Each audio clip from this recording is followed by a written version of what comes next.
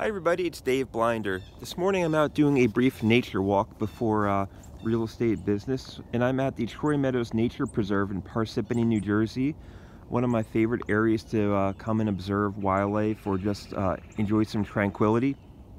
I'll apologize for the uh, red-bellied woodpecker who may be interrupting my speech right now. He doesn't know any better maybe.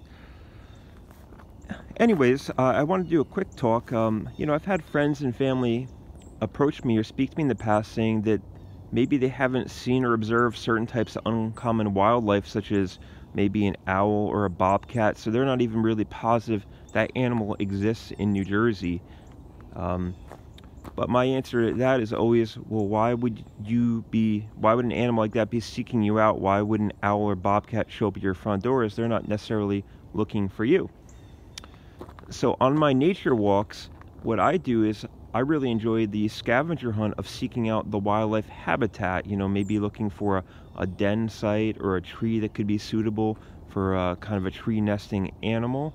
And that really leads you to uh, more in-depth wildlife studies. It helps you understand the lives of the wildlife better and can lead to some more profound wildlife photographs also, I find, because then you know a lot more about the animals life cycle and you can really depict that in your artwork which can be very uh, interesting and uh, multi-dimensional for for photographs or painting or whatever your art form should be. So it's going to be difficult to see but my camera on a tripod right now is pointing at a a tree cavity. It had a large branch break off. So this is just you know random habitat that I kind of look for when I'm doing my wildlife or nature walks is you know, are there tree cavities? Is there a dense patch of, of cedar trees that could be a, a grove for owls?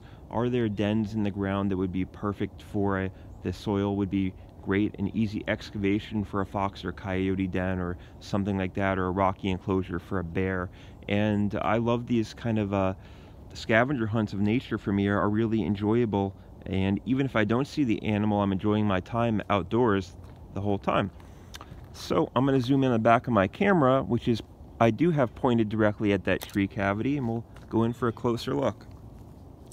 So as it focuses, you can see there is indeed some fur in this tree.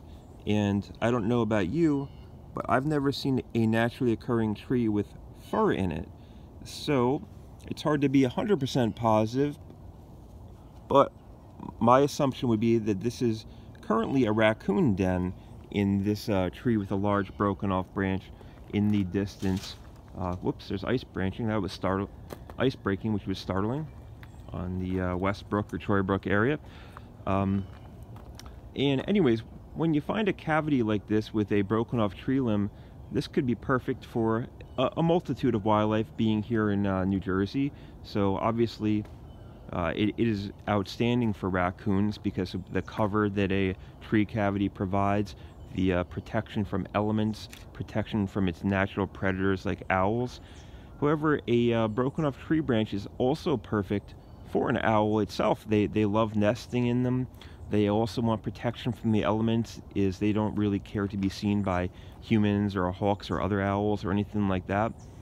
So I always recommend doing these walks with uh, a telephoto lens, but also binoculars. I'll push them in front of you right now.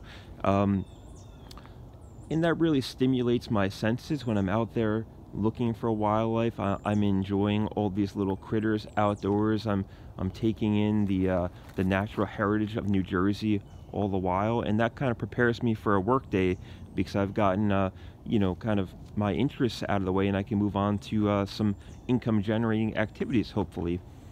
So if you have any questions about detecting wildlife or looking for their habitat, or if you'd like to talk about your own experiences on, and what you like to look for when you're out there seeking wildlife, please leave them in the comments below. Thank you.